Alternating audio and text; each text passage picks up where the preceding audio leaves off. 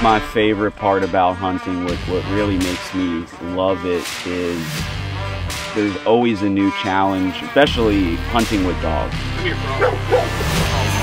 Unbelievable. Another one back there.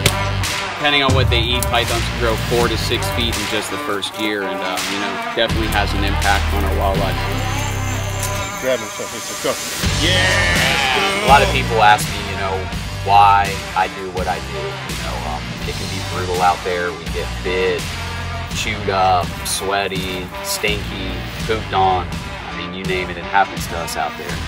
But the passion for it and the love for our state and the need to protect it is really what keeps us going.